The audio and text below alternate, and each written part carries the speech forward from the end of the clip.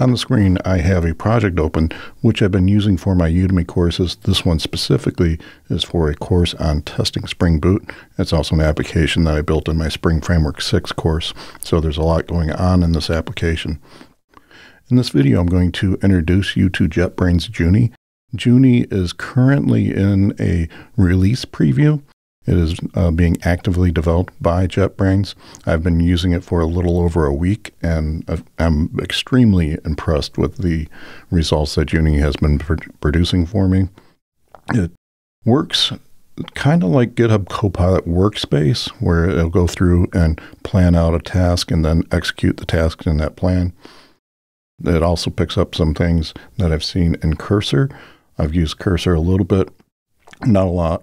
Cursor is based on the Visual Studio IDE, and I, I, I don't care for using that IDE for Java development. I, I do use it for other things, but I find that IntelliJ is much better, for me at least, in doing Java development. So I'm going to show you some features of Junie that's going to be very high level. And what I'm showing you it is currently in a development release. It's only by invitation. You have to go over to JetBrains, sign up to get a, get an invitation for it. I don't know when it's going to be released. I, don't know how it's going to be priced either. Uh, that's all co- to come uh, from JetBrains, but hopefully watch that space. I've been using this now for about a week, and finding it very, very surprisingly capable. At the time, it's using Claude 3.7 as the LLM that it's working with. And in the last week, I'm not exaggerating, I generated and committed to uh, my corporate repository for my day job about 35,000 lines of code. I've developed prompts where I can point it to a create table statement for a database table. And from that statement, I have it creating uh, JPA mappings, and not just trivial JPA mappings. It is going out doing embedded JPA entities, doing relationships. I've even had it uh, map out many to many relationships, and it's been doing it very accurately. I developed a prompt where I have it build that. It does the Spring Data repositories. It creates DTOs, uh, matching the uh, entities. It creates MapStruct mappers. It will create the Spring controllers and implement the API endpoints that I direct it to. And I even have it generating OpenAPI specification with a lot of rich metadata, common sense stuff as far as like property descriptions and stuff like that. So it's been doing an a, simply a excellent job for me. I'm really impressed with the tool. So that's why I wanted to do this preview. And to get started with Junie, it is a plugin that you do need to download and in, install in the IDE. Once you have that installed, you will get this context over here. And let me resize this. And this is the first time I'm using this in the in the project. One of the things, if you look at the JetBrains help, it asks you to set up a guidelines file. So this is kind of similar to what Cursor does. Let me minimize Junie here for a second. And yep, let's get rid of that. This from my other job, copied it over. And I've been making changes to this. JetBrains has you use Junie to do the initial analysis and generation of the project. You can see here some of the technology that we're using and talks about building running. This is all generated code here. In This section here, I've been adding in uh, additional hints to it. So much like uh, guidelines for Cursor, this is going in and instructing Junie things that I want it to do. And I've been evolving this over the last week, uh, set things that I normally like to do with my Java code. And you can see some of the things here. And this is still something that I am developing. The best practices that was generated by Junie, as well as the troubleshooting sections here, are things that I added. Now, for the course, what I want to do is demonstrate using Junie. We just created this repository test, I was using GitHub Copilot. I'm finding that it will work alongside of GitHub Copilot. Copilot's more for coding completions as you're working at it. So I've got both enabled right now. So let me come back over to Junie itself. I'm going to make that open. And you can enable Brave mode. This allows Junie the flexibility to execute commands it will run the test right in the IDE. You'll see the text, test window pop up and the test executes. Then it'll analyze the results of that and it'll make modifications to the test until it gets a passing. So I'm going to come up here, say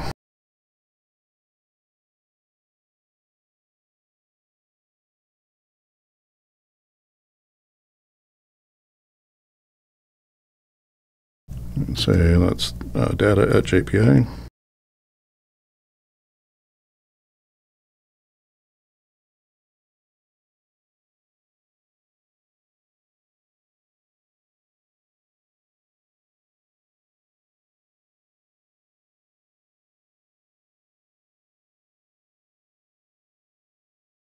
So here you can see that I've put in a prompt for creating a test for the customer repository. That's a Spring Data repository.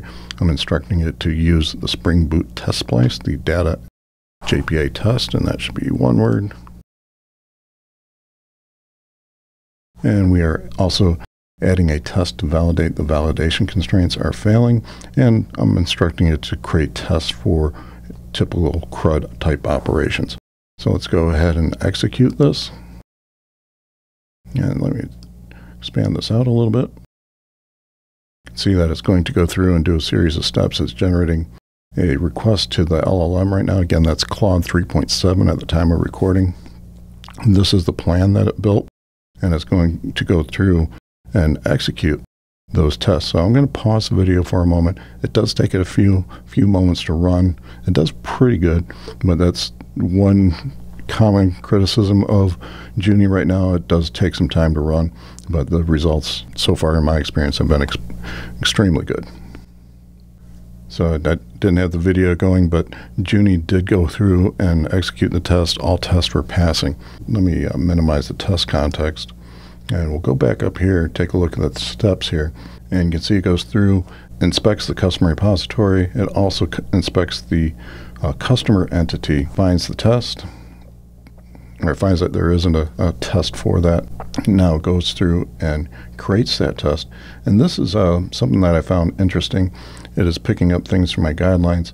And in this case, the customer object did not have any validation constraints. So I was a little surprised that it did that, but uh, probably a good thing to have that. So it did modify the underlying JPA entity to add in test constraints. So it could uh, test the, the constraints and then it generated the, the test. And you can see that it modified the customer file, and also the customer repository has been created with 106 lines of code. Let me minimize Junie and we'll do a quick code review.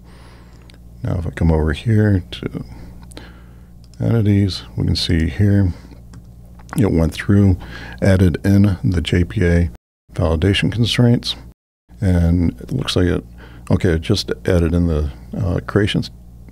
And I think that was existing if I remember right. And then also let's take a look at the generated test for it. This is using it, again, it's going to be using the data JPA test exactly as I instructed it. You can see that it picked up the auto wire. It's going through. Let's see here, that's creating customer entity. So it created a helper method to create the customer entity. So everything is good. One thing that surprised me about Junie is that it goes in and uh, creates comments in the code. So occasionally we'll add in code comments. So it does a, uh, again, it does a very ex- outstanding job as far as code generation. This code was being generated by the Claude 3.7 LLM, and I'm extremely happy with the results of utilizing Ju- Junie. Is really going to accelerate a lot of people's development. So, over the last week, I have seen Junie do some su- surprising things. Like in this example, it added in annotations to the customer entity for doing validation constraints. And that was because I asked it to test flows and it didn't ha- have any. So, it did add those in and it did pick out some sensible defaults. Now, I've seen Junie a couple times struggle getting tests running. I, seen it, I'll see it run the test, get errors, go back, revise, run, revise, run, revise. There was one time that it was struggling to get the test working. When I implement services, typically for Spring development, I will uh, create a interface and implement to the service interface. In this case, I was testing a service. I couldn't get that service working properly, and it actually created its own implementation in the test directory for the service so it could get the test passing. I have to give it uh, extra points for creativity there, but really kind of defeated the purpose of the test. I went in, looked at it.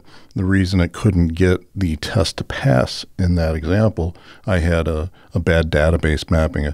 I couldn't find a database table. So Junie kind of worked around it by creating its own implementation. Ultimately, I had to go in and correct the creation script for the database table, and then the, the tests were passing. Overall, I am extremely pleased with Junie. It's been doing a great job for me. The JetBrains team behind it, they've been uh, adding in a lot of new features. Right now, I'm following them along on Discord. They're uh, dropping several releases a week and continually adding functionality. Again, I don't know when Junie is going to be released to the general public. I don't know how it's going to be priced or anything like that. I'm not sure if JetBrains has made that decision yet, but it has definitely been a game changer, and I'm starting to use it daily in my business. One last thing I'd like to add compared to GitHub Copilot Workspace, I've also been using that quite a bit. That's been producing pretty good results, but it does produce errors. The quality of the code coming out of Junie is much better, and I believe that is because the JetBrains team is adding hooks into the IDE.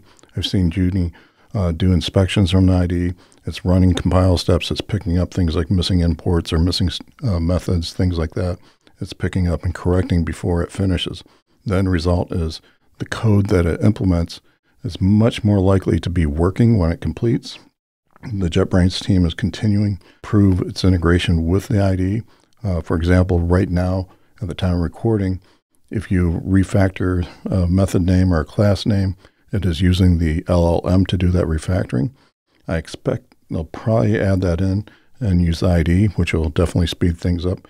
Junie is still a, a, very early product. As it matures, I think this tool is going to become more and more valuable. It's, it's definitely going to improve developer productivity a lot. So I've already seen that. It has uh, been inc- doing incredible work for me. I'm very excited to see this tool out and working so well.